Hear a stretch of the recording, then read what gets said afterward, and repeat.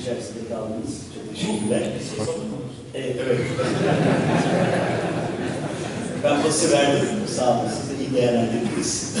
Ee, Sayın Yavrucu çok mütevatir bir turundan sonra aslında e, iki önemli noktaya müsaade ederseniz dikkat çektiler. Bir tanesi az ve kıt olan kaynakların nasıl kullanılacağı konusunda e, teşvik mekanizmaları ve diğer unsurların çok dikkatli kullanılması gerektiği, e, canlandırıcı etki, tonik etkisiyle kalıcı etki ya da katma değerle e, ortaya koyulan cari değer arasındaki farklara dikkat çektiler.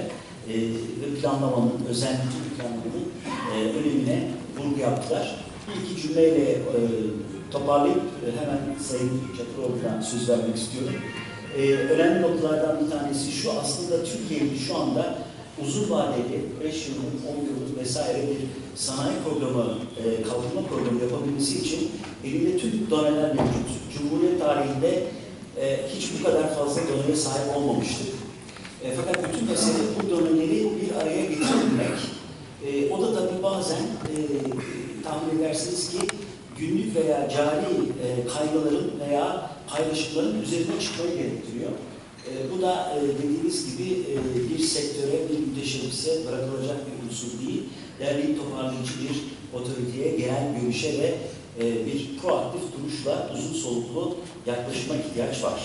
Evet, efendim e, müsaade şimdi sözü... E,